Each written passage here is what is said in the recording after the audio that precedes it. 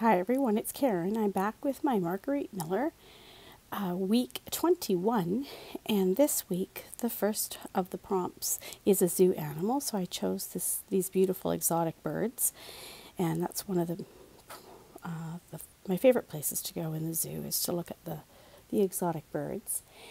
And this is just a napkin that I had in my collection, and I just absolutely loved it. So I wanted to use it somewhere in my pages. Uh, a portion of a food or drink label is the Campbell Soup condensed mushroom soup label. I liked it was red, it kind of blended in with the red bird there, and I didn't want it to be like a focal point on the collage. Handwriting, I used papers in the background that are all handwriting.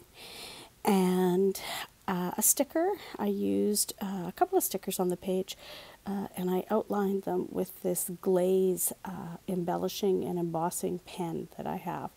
Uh, it's called Glaze, and it's a super nice pen. It flows really nicely, and it's beautiful for outlining.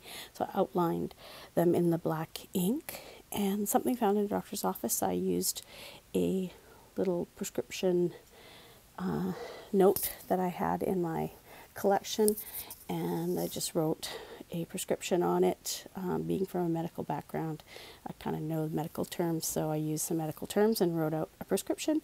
And then something in three, I put three butterflies in the bottom left hand corner, and I put a sticker in the top left hand corner that I cut into three parts, and I outlined each part separately with that black glaze pen. And that is my collage for this week, guys. Uh, 2022 CWP 21. Check out all the other people that are making beautiful collage pages by using the hashtag 2022CWP. And you can just put in the week. So this week is 21, or you can put in any of the previous numbers and you will see all the other uh, wonderful works of art that people have put up on YouTube. Okay, that's it for me. Thanks everyone for stopping by. I appreciate you all. I love your comments, and I will see you all. Talk to you all soon.